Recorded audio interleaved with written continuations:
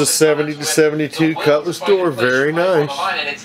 Rust free. Hard to find. Very difficult to find a door like this. There we go. Here's a close up of that door.